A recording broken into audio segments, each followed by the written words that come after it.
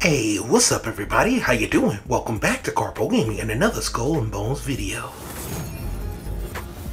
Another one. That's right, we're back at it again and I finally got the Ouroboros armor. Today, we're going to be doing some testing to see how good this thing really is. Let's go! Once again, thanks for watching everybody. Without further ado, ladies and gentlemen, let's get started now.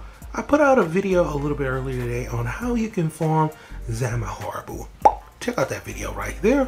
Full step-by-step -step guide so how you can get all of the mats in order to get this armor. Now, if you head over to Lenitra, over here is where you can get the Ouroboros armor. Now, it will cost you 50 of those monstrous teeth. So hopefully you've been farming since the game dropped to get those teeth, right? Because that's the only way that you can get this blueprint is with the monstrous teeth. Now you can farm monstrous teeth from doing a daily contract. You can also get monstrous teeth from farming Zahamribaru, which I highly suggest you do in a group.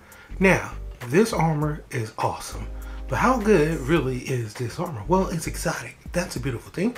We also have some resistances. 20% to explosion, 30% to flooding and fire. Then we have two really cool parts.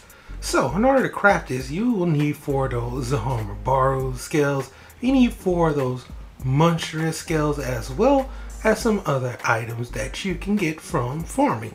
Now it does come with amalgamate and we're going to be testing this out. It restores 15% of the whole health while bracing. Now this effect occurs after bracing in and then we have restoration restores 100 severe damage every second which is situational but it does help when you have flooding damage you fight against bosses. So I put myself in a situation where I wanted to have low health and do a little bit of bracing. And you can see a small little sliver of health is there after I release the bracing. So it is there, it's just a small amount.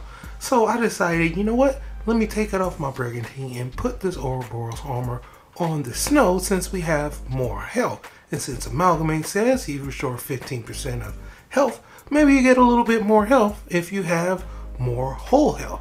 So that's exactly what I did. I put this on the snow since it has more health and I put on a couple of different furniture pieces that will help this out. A little bit more stamina recovery, a little bit more stamina, and of course a little bit more health. So I'm trying to get the best benefit out of this amazing armor. So let's do this. Back to the testing.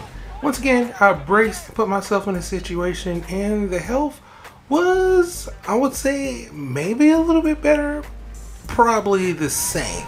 So the health that you do get back is small, right? It's minute, but it's still a little helpful. And of course, you can get severe damage back per second, which is very helpful when you're fighting bosses. So is it the best in the game?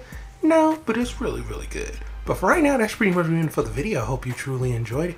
Now, as always, if you're new to the channel, how you doing? Welcome. Don't forget to subscribe. Right here at Karpo Game, upload a wide variety of videos, range from updates, tips and tricks, guides and news, and a whole lot more. So hopefully you enjoyed this video. Once again, thanks for watching, and as always, I'll be seeing y'all in the next one.